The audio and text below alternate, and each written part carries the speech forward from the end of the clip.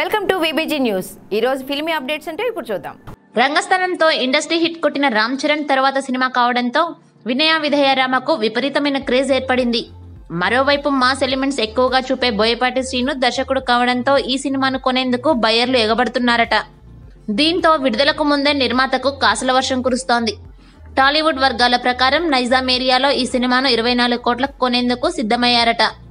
మరోవైపు ఉభయ గోదావరి జిల్లాల హక్కులను ఏకంగా పది కోట్లకు కొనుగోలు చేశారట. హిందీ శాటిలైట్ హక్కులు సైతం ఇరవై రెండు కోట్లకు అమ్ముడుపోయాయట. ఓవరాల్గా ఈ చిత్ర బిజినెస్ తొంభై కోట్లకు పైగా జరిగింది. పండక్కి ఈ చిత్రానికే అగ్రపీఠం వేస్తున్నారు బయ్యర్లు. ఈ చిత్రం ఏకంగా వంద కోట్లు వసూలు చేస్తే గానీ హిట్ అనిపించుకోదు. బోయపాటికి ఉన్న mass image Ram Charan market Sankranti పండుగ సీజన్ అన్నీ కలిపి ఖచ్చితంగా వినయ విధేయరామకు విజయం తీసుకొస్తాయని నమ్ముతున్నారు దర్శక నిర్మాతలు.